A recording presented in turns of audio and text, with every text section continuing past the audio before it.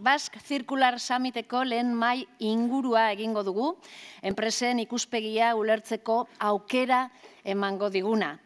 La huella ambiental de organización o producto o el indicador que refleja los gases de efecto invernadero emitidos son metodologías que destacan dentro de la propuesta legislativa Green Claims de la Unión Europea. Horretaz guztiaz eta askoz gehiagoz hitz egingo digute honako hauek. Alejandro Villanueva, jefe adjunto de Economía Circular y Liderazgo Industrial de Joint Research Center de la Comisión Europea. Alejandro Martínez, director de Salud, Sostenibilidad y Calidad de Eroski. Joseba Erauskin, director HQSE de Orona. Lucía Monforte, jefa de Medio Ambiente en la Dirección Global de Sostenibilidad de Telefónica y David Hernández, director de Sistemas Integrados de Gestión en Vicinay, Sestao. Modera esta mesa Ana Mezo, responsable del programa PYME Circular de IOBE, Sociedad Pública de Gestión Ambiental del Gobierno Vasco. Mientras, acaban de microfonar a, Lucía, eh, lo primero que me gustaría es dar las gracias a todos ustedes por acompañarnos en este Congreso de Economía Circular y, por supuesto, a, los que me acompañan en esta mesa. Para mí es un honor eh, que estéis con, nosotros. Eh, contamos con Alejandro Villanueva, experto en materia de economía circular y con cuatro empresas referentes y líderes en sus mercados, con una gran trayectoria en, información ambiental, eh, del desempeño del comportamiento ambiental, tanto de sus organizaciones como de sus productos, que además representan las distintas tipologías eh, de negocios. Tenemos empresas con producto propio, prestadoras de servicios, con mercados business to business y con mercados business to consumer. Eh, y por lo tanto espero que el, debate sea enriquecedor desde los diferentes puntos de vista. Eh, esta es la primera mesa técnica de, de, este día, de esta primera jornada, en la que eh, nos enfocamos un poco a las luces medias en materia de economía circular. La hemos titulado Transparencia y Posicionamiento y nos, eh, bajo este, este título englobamos todo lo relacionado con la información del desempeño ambiental de productos, servicios y organizaciones que bajo nuestro punto de vista es una de las palancas sobre las que pivotan eh, muchos de los desarrollos de, los desarrollos legislativos que nos ha comentado antes Alejandro y que además eh, están cobrando cada vez más relevancia desde los diferentes ámbitos de trabajo de las organizaciones, tanto desde el punto de vista de sus clientes como de los inversores, como de los diferentes mercados y empresas tractoras que están eh, traccionando a toda la cadena de valor. Además, estas cuatro empresas eh, tienen unas cadenas de suministro eh, muy, muy largas y están traccionando también con todas ellas.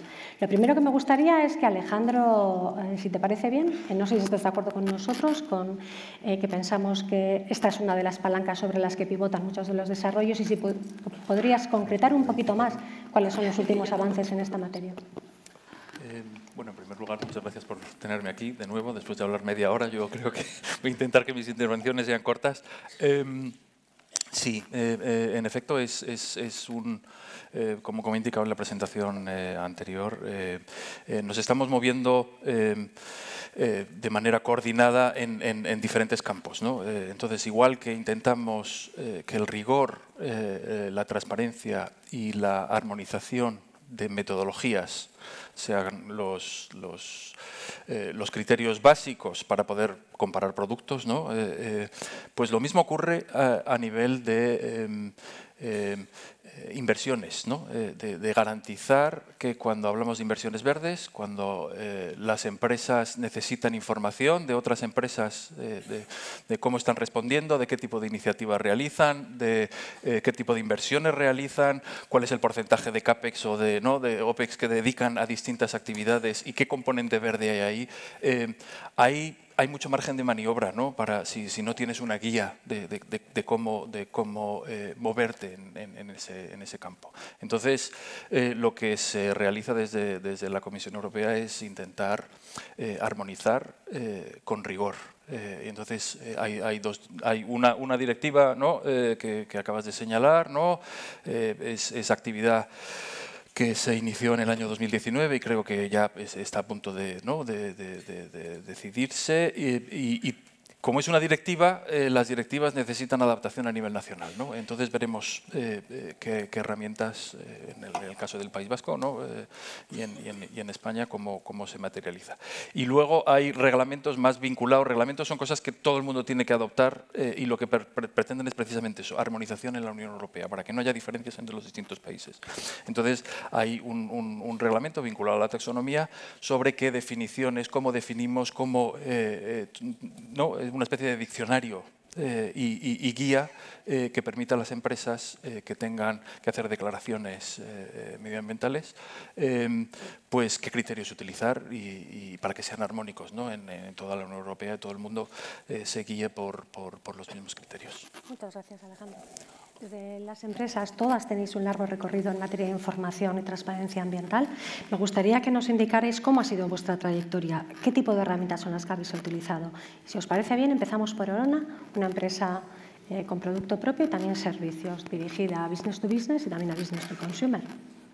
Ni lehenengoena, eskertu nahi nizun ematen diguzun aukeragatik hemen olako foro batetan, ba, gure esperientzia edo pixka gure rekordia zein izan denen azken urte hauetan azaltzeko eta konpartitzeko zuekin ez. Igual empezando por explicar de una manera muy breve lo que es Orona, eh, un poco también por introduciros. ¿no? Nosotros somos un grupo empresarial que trabaja fundamentalmente en, en Europa, líderes en el sector de la elevación. Eh, tenemos ya más de casi 60 años de historia, de trayectoria, desde la fundación de Orona Sociedad Cooperativa, que es nuestra, nuestra empresa matriz, y tenemos presencia eh, propia en lo que nosotros denominamos modelo integral de negocio en 12 países, 12 países en Europa, ¿eh? donde desarrollamos la instalación y la conservación de ascensores, escaleras, pasillos, etc. ¿no? Eh, todo lo que es el diseño y la fabricación lo hacemos en Euskadi, donde tenemos dos fábricas con una capacidad eh, total de 30.000 ascensores al año y además exportamos ascensores a 100 países en todo el mundo, países en los que nosotros no estamos presentes con nuestra, con nuestra marca. ¿no? El año pasado cerramos con 830 millones de euros de facturación y somos ya 5.500 personas, ¿no? con una vocación además de crecimiento muy grande en Europa. ¿no? Ese es un poco el proyecto de futuro de Orona. Entonces, en cuanto a la comunicación ambiental, eh, nosotros hemos ido eh, desarrollando un proceso, nuestro relato, nuestra comunicación ambiental se ha ido desarrollando poco a poco eh, a la vez que hemos ido construyendo también nuestra estrategia en sostenibilidad ambiental y, yo creo que ha ido muy de la mano de los distintos hitos que hemos ido cumpliendo. ¿no? Orona arranca en 2001 en el tema de medio ambiente, como muchas empresas de Euskadi, a finales de, lo, de los 90 nos certificamos en calidad y en el 2001 arrancamos en medio ambiente con la 14001, como muchos de vosotros imagino, con un enfoque muy fabril. En 2008 damos un salto muy, muy importante eh, en Orona porque nos certificamos en ecodiseño, somos la primera empresa del mundo en nuestro sector que lo hace y eso ha sido un eje, eh, el eje sobre el que hemos ido construyendo toda nuestra estrategia de sostenibilidad, el, el, ecodiseño, porque nos ha abierto también la puerta a empezar a trabajar en eficiencia energética y ya en 2013 pues presentar eh, productos certificados clase A, ¿no? a partir de ese, de ese, de ese punto. ¿no? La eficiencia energética es un driver importantísimo en nuestro sector ¿no? y por eso también eso lo hemos empleado un poco como punto de, alrededor del que hemos ido construyendo. Eh, 2014 para nosotros es un hito también muy importante porque inauguramos Orona IDEO. Orona IDEO es nuestra sede corporativa que está en, en el Parque Tecnológico de San Sebastián. Nosotros nos referimos a IDEO como un ecosistema de innovación porque ahí convive la empresa Orona con la universidad y con la innovación, con la tecnología, con un centro tecnológico. Y Orona IDEO también es un referente desde el punto de vista de sostenibilidad ambiental, porque ya cuando eh, inauguramos en el 14, pero unos años antes ya estamos conceptualizando IDEO en el proceso de, de, decidir qué queríamos hacer. ¿no? Y teníamos claro que queríamos que aquello fuera un referente en materia de sostenibilidad. ¿no? Y IDEO es, son unos edificios que tienen certificación LIDORO, BRIM Excellence, donde el 100% de la energía térmica que consumimos es de origen renovable, porque tenemos una central térmica con distintas tecnologías, pues biomasa, solar térmica, geotérmica, máquinas de absorción, tenemos una huerta fotovoltaica que también nos da pues, el consumo base energético. Bueno, pues para nosotros es un ejemplo, ¿no? Estamos orgullosos de que, de que nuestra sede central pues tenga esas características. ¿no? Y entonces el recorrido que hemos hecho, y, quiero ir un poco ahí en, comunicación ambiental, ha seguido un poco esa cronología. ¿no? Empezamos con la fábrica, con lo que es medio ambiente de fabricación, seguimos con la parte de producto, infraestructuras, y ahora estamos más en el mundo del servicio. ¿eh? Más del 50% de la actividad de Orona es el servicio, eh, y aunque con 14.001 ya estábamos trabajando también en, aspectos ambientales de servicio, en el 19 certificamos huella de carbono y eso nos ha ayudado a darle un enfoque mucho más integral. ¿no? Eh, a partir de ahí, bueno, pues estamos con proyectos muy importantes de digitalización de movilidad sostenible que van a, van a mejorar muchísimo ¿no? lo que tiene que ver la sostenibilidad en servicio y bueno, pues el año pasado ya cerramos, bueno, cerramos, el año pasado certificamos tres familias de PDs, atendiendo también a una demanda del mercado que, existe. Al final, eh, con eso conseguimos tener mejora competitiva. Y bueno, lo que quiero decir es que este recorrido, ¿no? en, base a esos cuatro ejes que, he tratado de hacer, o sea, fábrica, producto, eh, infraestructuras y servicio, eh, de alguna forma es la forma en que comunicamos al exterior nuestra, lo que estamos haciendo en medio ambiente y lo que comunicamos pues, en nuestra web, en las memorias de sostenibilidad anual, Pacto Mundial, Estado de Información no financiera, al final es un relato que, estamos, que hemos ido construyendo poco a poco y que ahora lo reflejamos en pues, todos los ámbitos en los que participamos, en los que tenemos capacidad de, exponer estas cosas. Es que ricasco, Joseba. Eh, David, desde una mediana empresa eh, mucho más pequeña que, que los 5.000 empleados, eh, business to business, metal, sector eléctrico. Todo bueno, ¿no? Cuéntanos. buenos días, gracias por la invitación un placer siempre estar. Eh, voy a quedar muy mal después de Orona, pero bueno. Eh, nosotros somos una empresa que se dedica al sector del, del offshore. Al principio fondeamos las plataformas petrolíferas, oil and gas. Esto es lo peor en un, en un congreso de este tipo, hablar de la circularidad del oil and gas, pero lo dejaremos para otra charla. Eh, y ahora con el desarrollo de nuevas tecnologías, pues el offshore eólico que todos hemos oído y que viene más lento de lo que, de lo que a todos nos gustaría. Eso es lo que somos como empresa. Como comunicación, eh, nosotros nos planteamos, Joseba explicaba los pasos que creo que hemos dado casi todas las empresas, eh, certificación, ISO, tal, eh, nosotros nos certificamos, eh, nosotros nos planteamos en el 2008 que teníamos que cambiar el sistema de cómo resumíamos a nivel interno nuestros impactos y nuestros aspectos ambientales y apareció en nuestra vida el análisis de ciclo de vida, las EPDs. Ahora queda súper bien hablar de esto en el 2022. En el 2008 esto era un solar, entonces eh, había que buscar alianzas, están por aquí sentados, no les voy a dar mucha publicidad hoy, eh, y había que ir desarrollando un camino que para nosotros era importante en cuanto a la comunicación interna.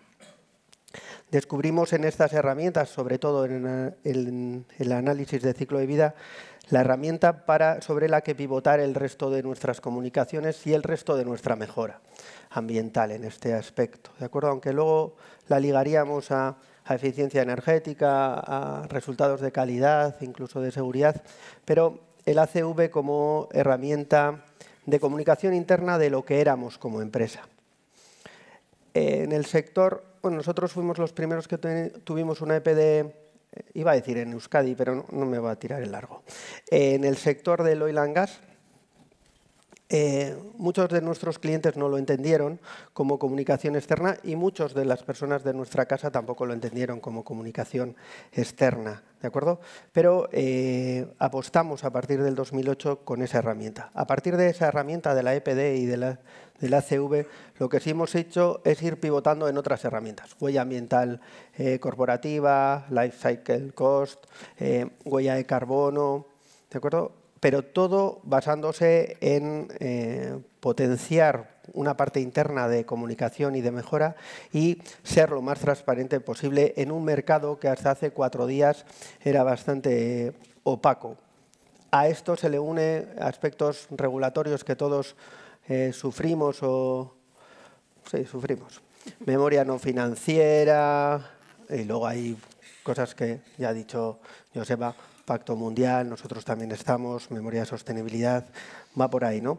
Pero para nosotros es importante ser capaces de, primero, autoconvencernos como organización a nivel ambiental y luego ser capaces de transmitir un mensaje que no, hoy me ha gustado la palabra mucho, que no roce el ecopostureo ni el greenwashing que queda un poco peor. ¿De acuerdo? Muy bien, es que ricasco. Eroski, cambiamos de sector radicalmente, de clientes. Cuéntanos cómo ha sido vuestra trayectoria. Bueno, la verdad es que bueno, quiero empezar agradeciendo la oportunidad de estar aquí, la invitación eh, de poder compartir esta experiencia con todos, ¿no? que seguro que, es interesante, por lo menos para mí, espero que para todos los asistentes. Me ha gustado mucho lo que he escuchado y voy a intentar, de alguna manera, no, no repetir cosas que están dichas. No todos hacemos una memoria, por ejemplo, de, de sostenibilidad. ¿no?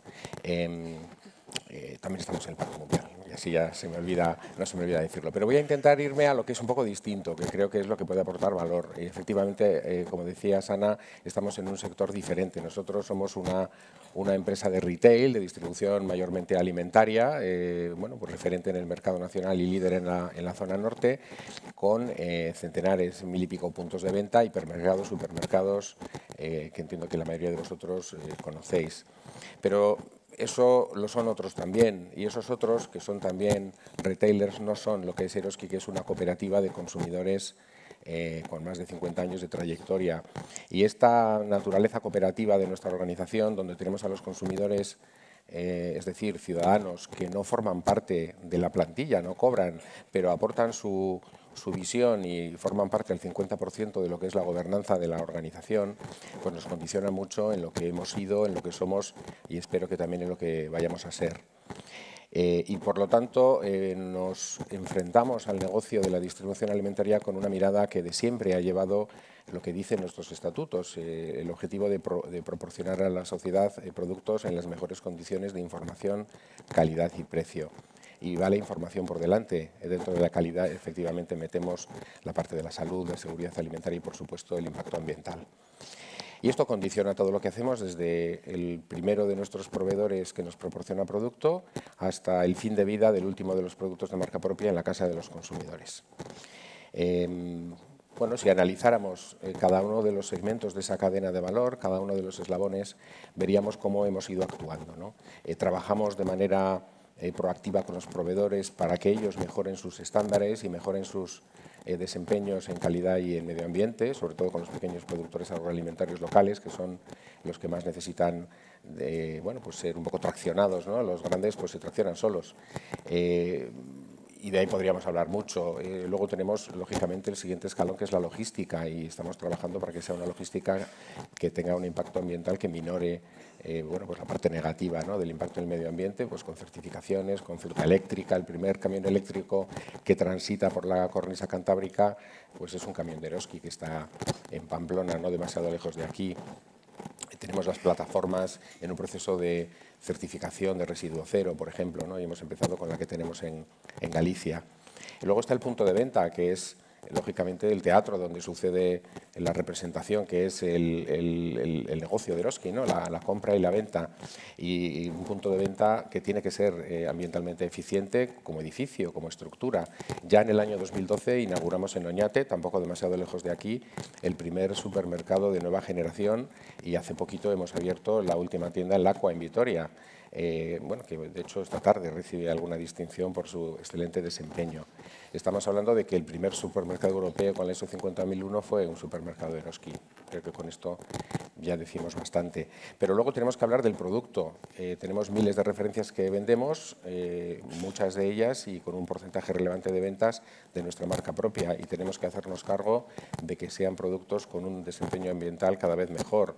Estamos con el, lógicamente con los productos certificados, eh, pues somos el único operador nacional que puede trabajar con el pescado MSC a granel, porque lo tenemos perfectamente trazado, apuesta en ecológico, en, en, biológico, eh, ecodiseño, un producto un proyecto enorme porque hablamos de miles de referencias que son perfectamente radiografiadas para ir mejorando progresivamente su impacto en huella plástica y mejorar su reciclabilidad que será plena en el año 2025, cinco años antes de que la norma nos obligue a todos a conseguirlo.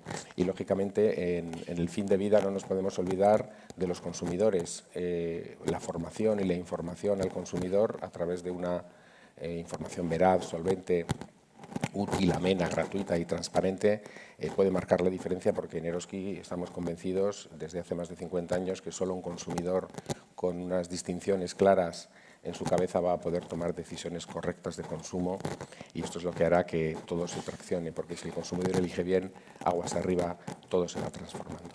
Bueno, pues básicamente este sería el, el enfoque que nosotros le damos al asunto. Gracias, Alejandro. Eh, Lucía, desde una gran empresa de telecomunicaciones, con una gran trayectoria además en materia de transparencia. Eh, hola Ana, eh, buenos días. En primer lugar, muchas gracias a IOBE y a los organizadores por haber querido contar con la participación de Telefónica en esta mesa. Y bueno, igual que mis compañeros, os cuento un poquito a, lo que nos dedicamos. ¿no? Básicamente lo que nosotros queremos es conectar la vida de las personas. ¿no? Telefónica trabaja en 12 países. Eh, bajo distintas marcas comerciales, por ejemplo aquí en España eh, con Movistar, y lo que nosotros hacemos es desplegar, operar y mantener redes de telecomunicaciones tanto fijas como móviles. Sobre esta infraestructura al final lo que hacemos es construir unos servicios para distintos tipos de clientes, para clientes B2C, o sea, los que seríamos cualquiera de nosotros que en casa tenemos un router, un deco o somos clientes de Movistar con el móvil, y también para clientes B2B, o sea, cualquier empresa desde una pyme hasta una multinacional y también las administraciones públicas. Al final eh, damos unos servicios de conectividad y de comunicación que quizás los más conocidos pues, serían el acceso a Internet, la voz fija, la voz por móvil, incluso la televisión digital, pero mm, Telefónica también da otra serie de servicios que son menos conocidos, sobre todo al sector B2B, como pueden ser, por ejemplo, pues, los servicios cloud, el IoT, blockchain o la ciberseguridad, entre otros. ¿no? Entonces, eh, bueno, pues un poco eh, es repetir lo mismo, ¿no? pero creo que, que, es importante ¿no? cómo iniciamos nosotros todo esto, pues aunque en España hay legislación desde los años 60, ¿no? con el famoso reglamento de actividades, el RAMIP, eh, realmente yo creo que cuando las empresas un poco empezamos a gestionar esto fue con la aparición del aviso 14001 en el año 96. ¿no? O sea, es una norma que nos piden en un montón de licitaciones y que nosotros a la vez pedimos a nuestros proveedores porque al final es una manera de demostrar que tú tienes interiorizada esta gestión, que identificas estos aspectos, que los evalúas, que los gestionas de manera correcta y que tienes un cumplimiento legal. ¿no? Entonces, un poco nosotros tenemos toda nuestra operación certificada en base a esta norma. Y um, uno de los requisitos que además nos pide la norma ¿no? es que comuniquemos, que demos información ambiental a todos nuestros grupos de interés, tanto a nivel interno, que en este caso la formación es clave, también incluso a nuestra fuerza de venta, ¿no? como también es lo que os pasará a vosotros, pues para también transmitir las bondades de nuestros productos y servicios a los clientes y también de, forma externa, ¿no? que lo hacemos pues, un poco como han comentado los compañeros, a través del informe de gestión, la memoria de sostenibilidad, que hoy en día todo el mundo lo tiene porque es obligatorio desde que se transpuso la directiva europea con la ley 11-2018 en España, pero nosotros ya veníamos haciéndolo un poco desde aquellos, un poquito antes del año 2000, que fue cuando GRI sacó los estándares voluntarios de reporting bueno, pues ya teníamos comunicación ambiental en esta materia. Había, pues Telefónica España ya tenía sus primeras memorias y a partir de GRI, pues ya un poco esto nos ayuda a todas a hablar un mismo idioma, a ir sistematizándolo y, mm, y a comunicar esta, esta información. ¿no? Comunicamos muchas cosas, pero me quiero centrar eh, sobre todo en dos aspectos que a nivel ambiental son materiales para la empresa, que sería un poco el tema de cambio climático, que también ha salido, y el de economía circular, que además pues, viene a cuento mucho de lo que estamos hablando hoy aquí. ¿no? Entonces, en cuanto a cambio climático, como los compañeros, nosotros también calculamos nuestra huella de carbono, tanto las emisiones directas de alcance 1 y 2, como las indirectas de la cadena de valor, eh, con, en base al GHG Protocol y lo verificamos todos los años esta huella y en base a eso también pues, establecemos nuestros objetivos de reducción. Y también muy importante, eh, identificamos los riesgos y oportunidades derivadas de este cambio climático, que en nuestro caso eh, son mucho más oportunidades que ofrece el sector telco que, riesgos, ¿no? en base al estándar de TCFD. Y en economía circular, pues también muy importante lo que habéis dicho, que hay que tener en cuenta toda la cadena de valor, trabajar en nuestra eficiencia interna, en la reutilización de nuestros equipos de red, por ejemplo, pero también con nuestros proveedores, aguas arriba, y luego también muy importante con, con nuestros clientes. ¿no? Por ejemplo, desde el año pasado estamos ya implantando unos criterios de compra circular en base a una norma ITU internacional, pues para un poco también todos los equipos electrónicos que compremos eh, que tengan unos criterios de durabilidad, reciclabilidad, reparabilidad. Entonces, bueno, un poco eso sería para destacar estos dos, dos grandes temas. Gracias. Me das pie precisamente a la siguiente pregunta. Eh, el enfoque que habéis seguido más o menos todas las empresas es un enfoque de anticipación. ¿Estáis observando un cambio real en el mercado? ¿Estáis viendo una mayor presión hacia la comunicación ambiental? Y por otro lado, eh, ¿está la cadena de suministro preparada para acompañaros en, este tránsito? ¿Cómo lo estáis gestionando? Eh, ¿Telefónica, por ejemplo? Eh, pues yo creo que sí, o sea, creo que sí que estamos observando un cambio en el mercado y además en, distintos aspectos, ¿no? O sea, los consumidores pues eh, cada vez buscan más eh, información sostenible y de hecho en bueno, pues muchos estudios em, se ve que la gente está dispuesta a pagar más ¿no? por productos que sean más respetuosos con el medio ambiente. Pero es que esta gente que está concienciada, además, lo que quiere tener es pues eh, unas ecoetiquetas que les digan un mensaje claro, ¿no? O sea, ya no es solo toda la información, todo, todos somos muy, buenos, hacemos un montón de cosas, no quieren tener como un mensaje claro, pues por lo que nos estaba diciendo antes Alejandro, ¿no? Que tú vas al supermercado y quieres comprar la salsa de tomate más, más sostenible. ¿Y cuál es, no? O sea, es, es difícil. Entonces quieren que ese mensaje sea claro, ¿no? Luego los inversores también Em, también lo estamos viendo, o sea, cada vez en su toma de decisiones sobre en qué empresa van a invertir tienen más en cuenta los criterios ESG. ¿no? Nosotros un poco tratamos de transparentar cómo lo hacemos nuestro desempeño ambiental en Telefónica y la verdad es que desde el 2017 el porcentaje de inversores con estos criterios en Telefónica ha aumentado de un 24 a un 36% del año pasado, o sea que sí que vemos este, este incremento. Y luego ya, bueno, a nivel regulatorio, pues ya después de la charla que nos ha dado Alejandro, no hace falta que que digamos nada más. Después del, yo creo que un poco el punto de inflexión fue el Acuerdo de París y el inicio del Green Deal y bueno, es que cada vez tenemos más regulación y, es que casi que hasta en una empresa grande con Telefónica, que tenemos mucha gente dedicándose a esto, es que no llegas a asumir todos los cambios, porque es que son muchos y muy continuos, ¿no? Entonces sí que estamos viendo este, este cambio, ¿no? Entonces nosotros un poco esto, pues eh, lo, que, lo que hacemos, ¿no? Em, a la hora de, gestionarlo. Nosotros hemos sido la primera telco, y hay alguna más, ¿no? pero que hemos validado nuestros objetivos de, cero emisiones netas. Queremos ser cero emisiones netas en 2040 con la iniciativa de Science Based Target. Y entonces un poco em, lo que hemos hecho es establecer una estrategia clara, un plan de acción climática que lo tenemos pues, estructurado en cinco modelos porque queremos contarle a la sociedad, a nuestros grupos de interés, em, cómo vamos a hacerlo, ¿no? cuáles van a ser nuestras medidas y nuestras actuaciones concretas para llegar a cumplir estos objetivos de reducción a corto, a medio y a largo plazo. Y además em, queremos contar tanto nuestras emisiones directas como las de la cadena de valor. Queremos tener en cuenta a nuestros clientes y cómo la digitalización les va a ayudar a reducir emisiones y también tener en cuenta claramente el aspecto de gobernanza y el aspecto, el aspecto financiero. ¿no?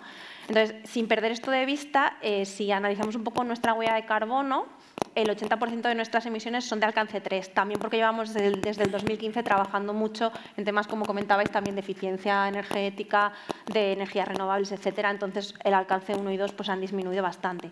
Pero sobre este grueso, este, este alcance 3 de la cadena de valor, un 64% proviene de nuestro suministro, de nuestros proveedores. Entonces, lo que estábamos diciendo es que no podemos conseguir nada solos, o sea, tenemos que trabajar mm, codo con codo con estos proveedores y con esta cadena de suministro. Entonces, sí que eh, realizamos bastantes iniciativas, ¿no? os voy a citar solamente algunas de ellas. Por ejemplo, invitamos a todos nuestros proveedores a que participen en un programa que se llama CDP Supply Chain, a través del que nos, nos, informan y nos reportan eh, sobre su, estrategia climática. ¿no? Este año hemos tenido un porcentaje de participación de un 76%, que cubre más o menos el 97% de, de estas emisiones de la cadena de suministro y lo que hacemos es que les vamos acompañando en el proceso, les damos workshops, luego además identificamos cuáles de estos proveedores em, pues tienen una madurez climática más que otros y a estos les animamos a establecerse objetivos, ¿no? pues pledges, em, de hecho ahora vamos a lanzar, eh, hemos identificado de estos key suppliers, ¿no? como unos 53 que no están adheridos a SBTI y vamos a animarles a que se adhieran a la iniciativa, porque al final si ellos reducen emisiones,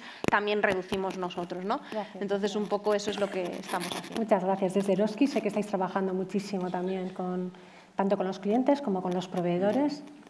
Bueno, la pregunta de si el mercado está preparado y de si estamos viendo que realmente las cosas cambian eh, es realmente interesante. ¿no? Y yo creo que no es una respuesta sencilla, porque cuando hablamos del mercado tendemos a verlo como si fuera una cosa homogénea y al menos en distribución alimentaria no lo es. Los agentes que integran ese mercado, esa situación, están en situaciones completamente distintas. ¿no?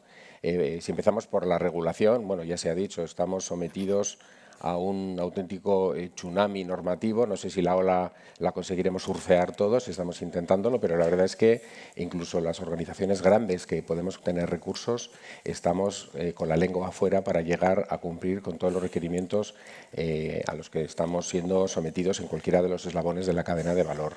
Por lo tanto, ahí sí que estamos notando un cambio. No sé si a mejor, porque la normativa se podría hacer pues probablemente un poquito mejor atinada, más oportuna en el tiempo y desde luego más armonizada, porque lo que se exige en una comunidad autónoma pues es igual ilegal en la de al lado eh, y hay que hacerlo de manera diferente. Podemos tener hasta 17 maneras de hacer lo mismo y esto no es demasiado lógico.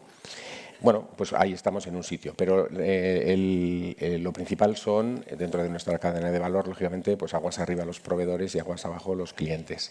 Y también aquí estamos en situaciones muy diferentes. Los consumidores sí que la corriente de fondo, que es constante, que tiene fuerza, que los va llevando, sí que se está moviendo hacia una situación en la que son más conscientes y más demandantes de productos que sean más saludables, más sostenibles.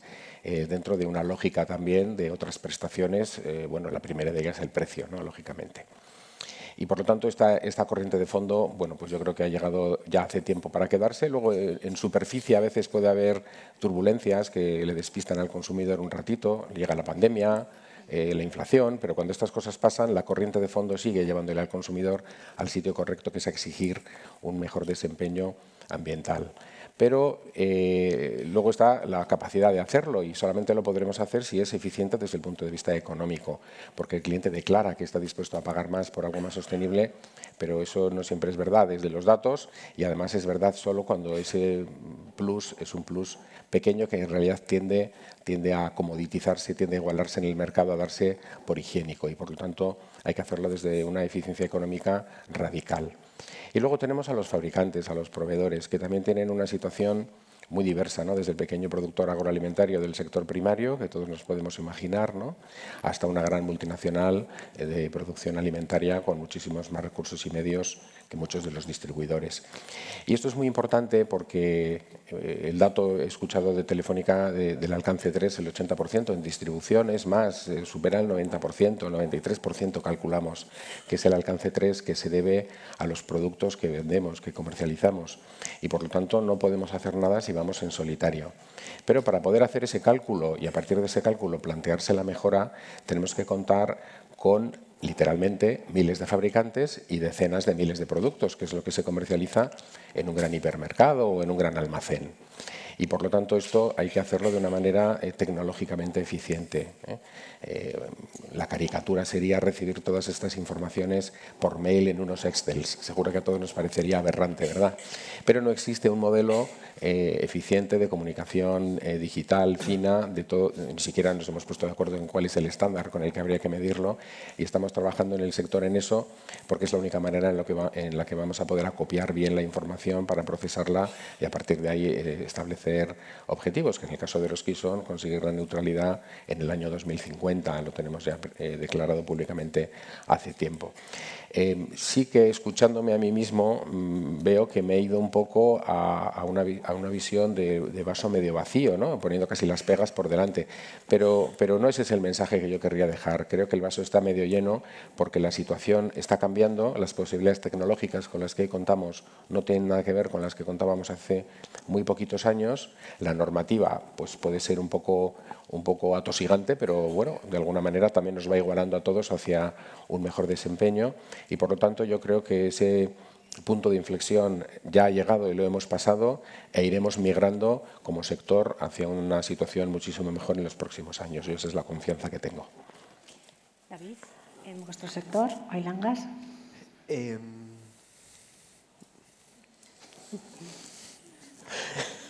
eh. Eh, hay que tener en cuenta que nuestro sector, eh, antes decía que nos dedicábamos al oil and gas y al eólico flotante, hay que tener en cuenta que son el mismo, son el mismo, es decir, la misma empresa se dedica al petróleo y al gas y tiene una empresa que se dedica al eólico flotante. Llama la atención que las primeras no suelen solicitar mucha información ambiental de la organización y llama más la atención que las segundas eh, ahora se hayan vuelto, perdónme la expresión, medio locas con si tienes una EPD o no. Que es bueno, que, que sí hay un cambio, que antes no querían saber nada porque bastante tenían con la regulación ambiental que, que le aplica a una plataforma en medio del Mar del Norte como para meterse en otras cosas. Entonces, a la primera pregunta, aunque Alejandro dice que es un poco complicada, tal, no sé qué, creo que el rumbo va cambiando. Nos gustaría más rápido, seguro, y nos gustaría de otra forma también seguro. Es decir, eh, nuestra mayor competencia, como la de un montón de gente, estará en nuestro este y, y ellos no hacen estas cosas. Y, y son muy competitivos y, tienen mejor precio y son más. Y, entonces, a veces eh, te puedes acabar planteando en esta teoría del, vaso medio vacío si esto es realmente un cambio de rumbo del, mercado. Porque si así fuera, el mercado apostaría por empresas eh, sostenibles o por lo menos, si no fueran sostenibles, que eso nunca me ha gustado, que sean eh, eh, transparentes en esa parte de la pregunta. Eh, sobre la segunda parte y la cadena de valor, ahí difiero. Nosotros vivimos en un país que el 90% son pymes, ¿vale?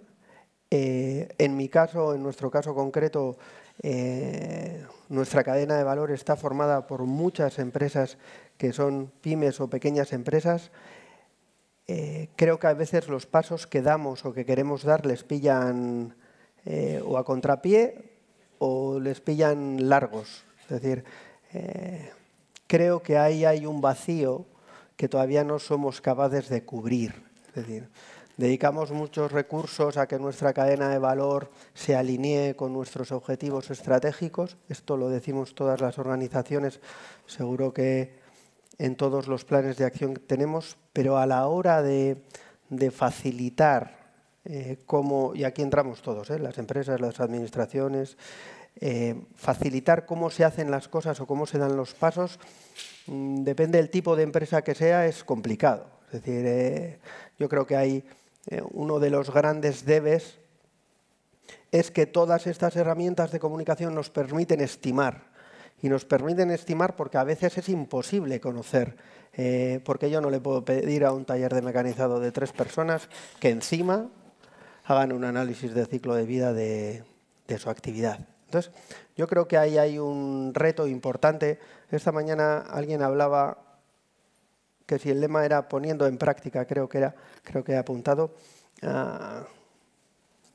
Los que estamos aquí sentados, seguros que ponemos en práctica seguro que podríamos poner más en práctica, seguro que tenemos un montón de recursos para poner en práctica. Eh, yo creo que hay que pensar mucho en cómo poner en práctica dentro de nuestras cadenas de valores, cuando son pequeñas, eh, esa actividad. Gracias. Corona. Joseba. Bueno, eh, hilando un poco con la última parte que comentaba de la parte de los proveedores, nosotros pues las mismas dificultades que ellos, el 70% más de nuestros proveedores son locales, son pymes y ahí pues son proveedores que, requieren de, mucho acompañamiento ¿no? para, para, poder ir al ritmo que, que la legislación o el mercado nos, nos pide. ¿no? Si vamos al, a los clientes o al mercado, nosotros estamos en un sector donde el compromiso ambiental, la sostenibilidad ambiental, pues realmente es un valor de marca importantísimo. ¿no? Y antes ya, ya apuntaba a que ha sido un tractor en el, en el sector de la, de la elevación, ¿no? sobre todo la eficiencia energética en producto. ¿no? Más en nuestro caso, siendo una cooperativa, pues nosotros tenemos un compromiso con el, con el entorno, también un compromiso en, la sostenibilidad ambiental. ¿no? Entonces, en la parte de mercado, a mí sí me gustaría hacer en dos minutos un repaso muy rápido de lo que ha significado ese, ese, ese driver que os decía antes en la eficiencia energética. ¿no? Porque si comparamos un ascensor, cogemos un ascensor de los que hoy puede salir de nuestra fábrica de Hernani y lo comparamos a uno que salía hace 10 o 15 años, estamos hablando de, un producto que consume un 75, un 80, un 80 menos de energía de lo que, de lo que hacía hace 10 años, eh, estamos hablando. ¿eh? Y eso ha sido eh, a través del desarrollo de tres tipos de soluciones, algunas muy tecnológicas y otras con muy poquita tecnología. por ejemplo, la iluminación en cabina de un ascensor. Ahí hay muy poca tecnología, eso son iluminación eficiente y apagado automático, lo podemos tener, tener todos en casa hoy. Pero es que Hace 10 años, el, no, no atrevo a dar una cifra, pero la mayoría de los ascensores que estaban instalados en España, en España hay más de un millón de ascensores instalados. La mayoría de ellos tenían un sistema de iluminación 24 horas al día encendido. Tú salías del ascensor, se cerraba la puerta del ascensor y la luz seguía encendida todo el día, 24 horas y no teníamos esa sensibilidad, a nadie le pasaba nada y nos parece una barbaridad que pueda ocurrir eso. ¿no? Entonces, eh, instalando pues, unos sistemas sencillos conseguimos reducir un 95% el consumo energético. El stand-by es otro tipo de solución que se ha implantado de, manera generalizada, ¿no? el stand-by de, la maniobra y de la señalización. ¿no? Cuando tú sales de un ascensor y el ascensor está parado 4 o 5 minutos, pasa a un modo de reposo, como la tele de casa, ¿no? que la pones en, en stand-by o el, o el horno que queda solo la lucecita encendida. ¿no? Con eso conseguimos con reducción de consumos importantes. Y luego ha habido eh, ya sí una solución tecnológica mucho más, mucho más, más, más, más fuerte, que, ha significado un cambio enorme en el, en, el, sector, que ha sido la introducción de máquinas gearless, ¿no? Eh, con variador de frecuencia que han hecho pues, que, hoy en día una máquina de un ascensor consuma pues, un 75% menos de energía que una, un ascensor hidráulico o, la mitad de energía que una máquina eléctrica convencional de dos velocidades. ¿no? Entonces, en 10 años, como digo, hemos dado el, sector, ¿no? ha dado un salto enorme en eficiencia energética. Hoy todo esto son soluciones estándares. O sea, hoy un ascensor que sale de Orona vaya a Holanda, por hablar de un país pues, muy concienciado en, aspectos ambientales, o vaya a un país con cero conciencia ambiental, va el mismo producto, vaya a esa solución. ¿no? Y incluso hoy estamos ya trabajando en soluciones que, bueno, pues en la exposición, si habéis tenido ocasión de, acudir a ella, lo podréis haber visto, pues de regeneración de energía. ¿no? pues igual que en los coches, ¿no? la Fórmula 1, el KERS y hoy en día los, los, eléctricos y los híbridos, pues, pues regeneran la energía de frenada, un ascensor también lo hace. Un ascensor, eh, por simplificar mucho, es una cabina y un contrapeso que están unidos por un cable a través de una polea. Entonces lo que hacemos es dimensionamos el contrapeso, el contrapeso es una serie de unas pesas, lo dimensionamos al peso de la cabina en vacío más media carga. Por tanto, cuando una cabina está subiendo en vacío, la cabina sube porque el contrapeso pesa más que la cabina. ¿de acuerdo? Por efecto de gravedad, ¿eh? un ascensor subiendo no consume energía, salvo para el arranque. Y entonces ahí lo que tenemos que hacer es frenar. ¿eh? Estamos en un proceso de frenado. Lo que hemos hecho ha sido convertir esa, energía de frenada en energía eléctrica que, inyectamos en la red. Eso hoy en día, llevamos ya varios años eh, comercializando ese producto, lo vendemos en países donde hay mayor sensibilidad, en edificios públicos, lógicamente, porque tiene mucho sentido, porque se consume de manera inmediata, pero hay países que, que, van incluso por delante ¿no? de lo que puede ser la sensibilidad de cada cliente, pues como el caso de Chile o el caso de Portugal, donde ya hay regulación. Entonces algo que hoy es, bueno, pues que en algunos mercados tiene más sentido que en otros, pues probablemente a medio plazo será también un, estándar ¿no? dentro, dentro, dentro de, nuestro sector. ¿no? Por tanto, como decía, en, en el sector de la elevación, pues la eficiencia energética de producto pues, eh, pues ha, conseguido, pues, o gracias a, la sensibilidad o a la exigencia del cliente, pues que, la evolución en, muy poquito tiempo haya sido, haya sido enorme. ¿no? es que ricasco. Nos estamos quedando sin tiempo. Teníamos varias preguntas en el tintero, pero ya no tenemos tiempo para más. Se nos ha pasado volando. Pero sí que me gustaría, antes de cerrar la mesa, unas últimas palabras bien para señalar algún eh, aspecto específico que, se nos haya quedado o incluso me gustaría alguna recomendación para algunas de las empresas, de las pequeñas empresas que todavía no se han enfrentado a este reto de los ACVs, de la información ambiental, del desempeño con enfoque ciclo de vida. Eh, eh, ¿Qué os hubiera gustado a vosotros antes de iniciar este camino que os hubieran contado y qué podríais contar a, la audiencia? Eh, bueno, yo dos cosas voy a decir. La primera, que mañana vamos a tener en, esta misma, en este mismo congreso aquí una, una experiencia, os vamos a contar cómo estamos con el tema del etiquetado ambiental, en una mesa redonda muy interesante para el que quiera acudir. Antes se hablaba del bote de tomate más sostenible. Bueno, pues eso en Eroski ya está. Eh, y lo dejo ahí para generar suspense y que vayáis todos mañana. Eh, y luego lo de las recomendaciones. Bueno, pues yo daría varias. Eh, la primera es que efectivamente el tamaño ayuda a veces, pero no debe ser una excusa para no hacer el, ser pequeño, porque si uno está esperando a que se lo hagan, probablemente se quede fuera del mercado. Y por lo tanto, en la medida de las capacidades, de la dimensión de cada uno, ese, ese análisis de por dónde empiezo, eh, con quién me alío, dónde busco información de mi, de mi core de negocio, cuál es la manera en la que yo puedo avanzar eh, eso siempre se puede hacer y yo esa sería la recomendación que daría. El camino es largo, los objetivos son ambiciosos, pero son a largo plazo y por lo tanto no hay que desalentarse. Y una recomendación buena es ir acompañado. ¿eh? En nuestro caso, la experiencia muy positiva del Basque Design Center, la iniciativa que tiene yo en el País Vasco eh, bueno, público-privada, creo que es un excelente modelo en el que hemos podido eh, hacer cosas en Eroski y seguro que el resto de las empresas que están allí también podrían decir cosas parecidas que en solitario no habríamos podido hacer o nos habría costado muchísimo más tiempo y muchísimos más recursos eh, poner en marcha. Y por lo tanto ir acompañado siempre es una muy buena recomendación. Es que ricasco, Alejandro. David. Que hay que tenerlo que hay que tenerlo claro dentro de la organización que hay que tenerlo muy claro dentro de la organización porque si no los pasos acaban siendo erróneos. Que el ensayo-error está súper bien porque donde se aprende es en el camino y, en el camino salen cosas, aunque luego el objetivo quede donde queda. Alejandro decía, hay que ir acompañado porque de esto, de esto tres y solos no se puede hacer. Y creo que es importante tener una red eh, público-privada, y remarco lo de público, eh, que acompañe a las organizaciones, ah, ya, que nos, eh, ya que hablamos de objetivos generales, nos tiene que acompañar quien más puede acompañarnos y creo que es la Administración Pública. ¿Orona? Bueno, en nuestro caso yo creo que dos cosas. ¿no? Una, algo que hemos hecho nosotros no hace mucho tiempo y es juntar a todos los agentes. En nuestro caso nosotros somos una empresa grande y lo que ocurre en las empresas grandes es que suele haber mucha gente haciendo cosas en distintos ámbitos. Entonces, para nosotros una clave ha sido juntar a todos los agentes que están trabajando en materia ambiental y a partir de ahí construir un poco y decidir un poquito hacia dónde vamos, ¿no? porque son cinco o seis ámbitos diferentes, desde la fábrica a innovación, a comunicación, a facilities, a nosotros mismos, a un montón de, un montón de ámbitos que estaban trabajando sin igual toda la comunicación que era necesaria. Hoy eso ya lo tenemos ordenado, eso es un punto. Y el segundo, eh, totalmente coincidente con el tema del acompañamiento. En nuestro caso también, en el caso de Orona, hemos estado siempre acompañados por IOVE y Básico Design Center, yo creo que es fundamental tener a alguien que sepa al lado tuyo. Yo eh, ayer eh, hice una consulta, entré en la web de AENOR, que AENOR también ha sido otro acompañante nuestro en todo este recorrido, ¿eh? pero yo entré en la web de AENOR y consulté cuántas certificaciones ambientales existen. Creo que me salían más de 30. Entonces, si no tienes a alguien que te ayude un poquito a, identificar por dónde tienes que ir, creo que es un tema muy, muy realmente complejo. Qué ricasco. Lucía.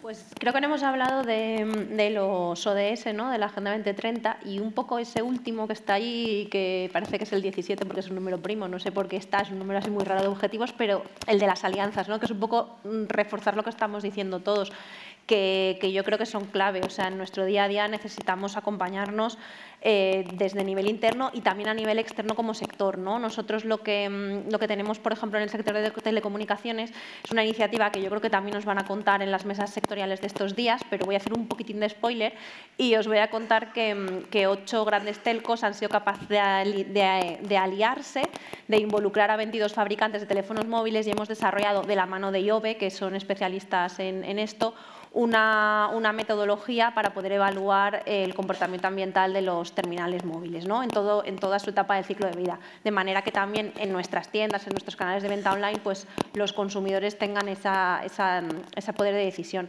Y al final esto una, no es una guerra única ni de un departamento dentro de la empresa, ni de una empresa como tal aislada. O sea, al final lo que le ha dado fuerza, por ejemplo, a este ejemplo que os comento, es el hecho de que todos hayamos sido capaces de trabajar juntos por un mismo objetivo y no pues como empresas competidoras en, en este caso. ¿no? Estamos fuera de tiempo. Te doy ya la última palabra desde la parte del el rigor, eh, la coherencia, la armonización eh, que se está intentando llevar desde la Comisión en relación con la información ambiental para que realmente tenga valor y genere confianza.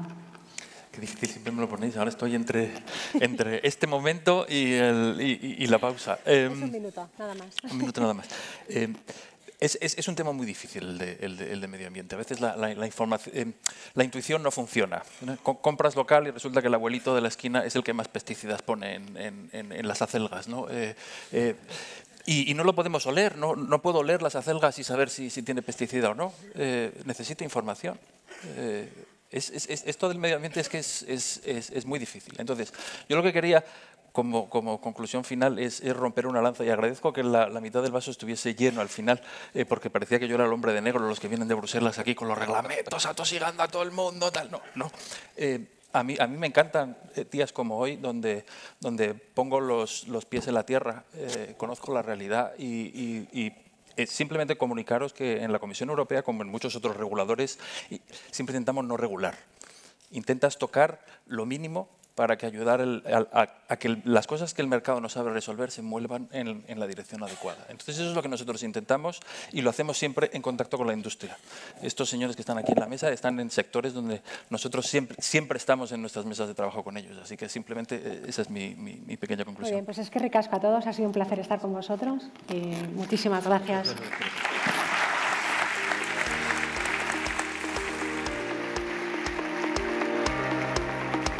Mezo, Alejandro Villanueva, Alejandro Martínez, Joseba Erauskin, Lucía Monforte, David Hernández. Eskerrik asko zuen ekarpenengatik.